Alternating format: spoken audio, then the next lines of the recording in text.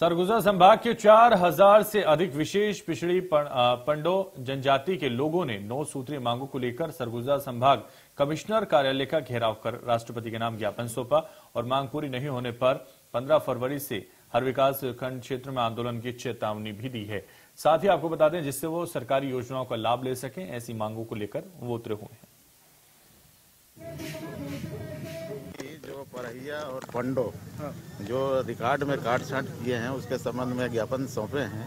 हम संबंधित जिसके लिए ये लोग ज्ञापन दिए हैं, संबंधित को हम भेजेंगे।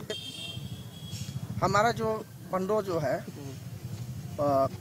संभाग में अभी कोरिया में सूरजपुर, बलरामपुर, सरगुजा में निवासत है। बलरामपुर में पंडो का उपजाति परहिया होता है, जो पूरी टोटम होता है। और बहुत पहले ही हमारा सेटलमेंट में तीनों, तीन सेटलमेंट का पंडो का काट के परहिया बनाया गया, जबकि सरनेम में था। और उनका अभी चौवन में अधिकार अभिलेख में पंडो निकलता है। और अभी फ़िलहाल में दो जन का पंडो लिखा था, उन्नीस सौ चौवालीस, चौवन अधिकार अभिलेख में। उन्नीस में उसका सत्यापित निकाला गया, पंडो लिखा था। और अभी वो परहिया कर दिया गया। मोदी जी, हम लोग पंडो परहिया एक करने के लिए तीस साल से लड़ाई लड़ रहे हैं, लिखित में और मौखिक में। हमारा मुख्य तौर से जाति वाला मुद्दा है। और जाति प्रमाण पत्र नहीं बनने के कारण हमारे जो छोटे छोटे बच्चे हैं ना उनको शासकीय योजनाओं को जो छात्रवृत्ति जैसे हैं, पढ़ाई जैसे महत्वपूर्ण कार्य है, उससे भी वंचित हो रहे हैं, आगे नौकरी पेशा से भी वंचित हो रहे हैं।